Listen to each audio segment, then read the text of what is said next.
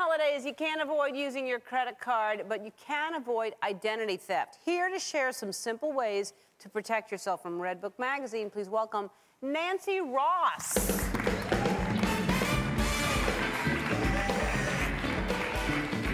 Hi, Nancy. Hi, Ellen. How Nice are to meet you. Nice to meet you too, Nancy Ross. And uh, tell us some tips. I was uh, told that you were actually you have been through this. That's why you started this. I have, and it's an awful feeling. I felt violated. I felt naked. Naked? So, naked. Mm. So there are a few simple tips to keep yourself safe during the holidays Mm. Right. from identity theft. Here's your average, uh, your normal wallet. Now it's filled with credit cards you don't ever use, but before you leave the house, just leave one credit card in.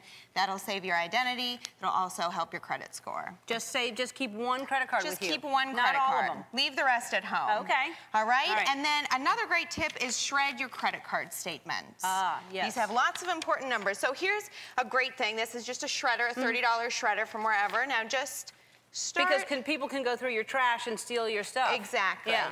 So, So, just start shredding. Now, now you can get these at Staples, at any kind of office supply store. Well worth it, you're saying. It's well like worth $30. it. It's very cheap and mm, inexpensive, and Right. it saves you a lot of money that you don't lose that wonderful credit score. Oh, Right. Be, Be- patient. Yes. You're one at a time. right, one at a time. One at a time. Right. And One then, at a uh-oh. time. Oh What's my. happening? Oh, oh, oh my. Uh-oh. Uh-oh.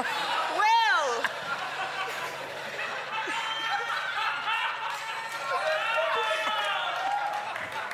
My good skirt. I think wait for as long as we can before the doorbell rings. But